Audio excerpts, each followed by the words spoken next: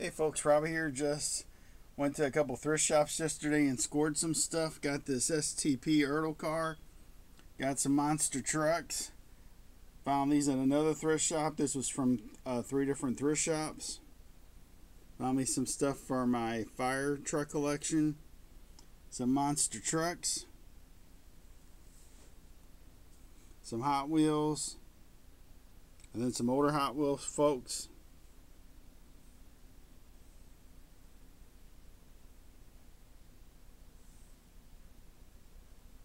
Color changers, which I thought were pretty cool. I love the old black walls. I am a black wall freak. Got that for free at the thrift shop. Um, you could pick a toy, and I picked that one.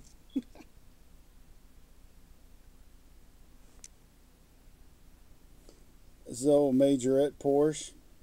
Couple uh, white tire or white wall Hot Wheels.